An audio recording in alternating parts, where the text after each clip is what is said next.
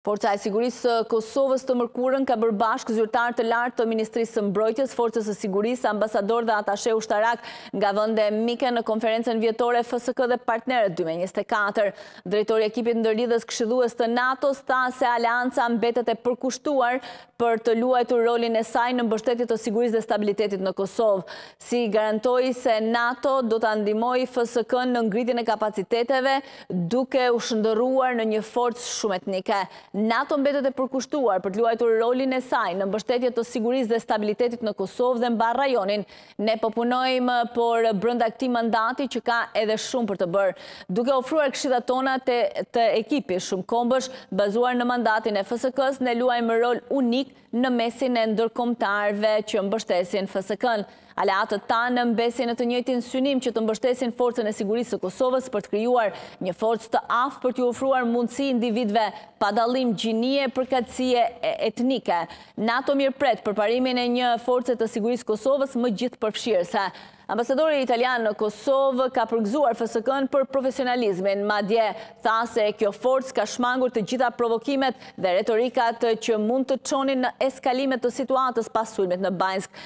Ka sfida, sidomos kjo çështja e fundit e Rusisë dhe ato qëllimet e Serbisë, që janë të këqija në Kosovë dhe kërkojnë një qasje të jashtëzakonshme. Është shumë esenciale që kjo të adresohet dhe ngritja e personelit të KFOR-it në kontrollimin e kufirit ka qenë shumë kruciale. Po ashtu dëshirojmë të themi se sulmi i vitit të kaluar, që është kryer nga një grup i paramilitarëve, për FSK-në ka treguar profesionalizëm të vërtetë, duke shmangur të gjitha provokimet dhe retorikat që mund të çonin në eskalime të ndryshme. Është shumë e rëndësishme që të krijohet një dialog dhe kjo çështje të kryhet përmes dialogut dhe përmes bashkëpunimit me komunitetin ndërkombëtar dhe të sigurohemi që forca të mos jetë një shprehje dhe të ndajmë prosperitetin dhe në kontekstin e NATO-s dhe anëtarët e Quintit janë të gatshëm të ofrojnë lehtësimin e dialogut dhe të gjejmë një zgjidhje për çështje që deri tani janë të pazgjidhura. Unë pres të bëjmë një qasje në bashkëpunimin tonë me të gjitha palët që të mund t'i kalojmë këto sfida, tha ambasadori italian. Nga ana tjetër, ambasadori i Britanisë së Madhe tha se Mbretëria e Bashkuar është e kënaqur me progresin e FSK-së. Ai ka falenderuar FSK-në për mbështetjen që ka ofruar për Ukrainën dhe stabilitetin në Europë, duke shtuar se FSK është në rrugë për integrim në institucionet e nivelit më të lartë të sigurisë.